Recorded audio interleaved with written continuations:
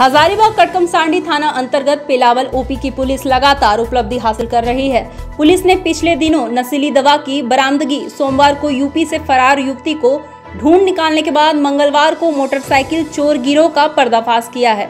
Police ने चार motorcycle चोरों को भी गिरफ़्तार कर जेल भेज दिया है। जेल जाने वालों में दक्षिण पेलावल निवासी मोहम्मद गुलजार, पिता मोहम्मद मुस्तकीम, पुरानी मस्जिद निवासी इंजामुल अंसारी पिता मोहम्मद सराफत गदोखर निवासी इरशाद अहमद, पिता मोहम्मद शमीम अंसारी और गदोखर रोड निवासी मोहम्मद राज पिता इसराफिल शामिल है। हजारीबाग से सोनू केसरी की रिपोर्ट।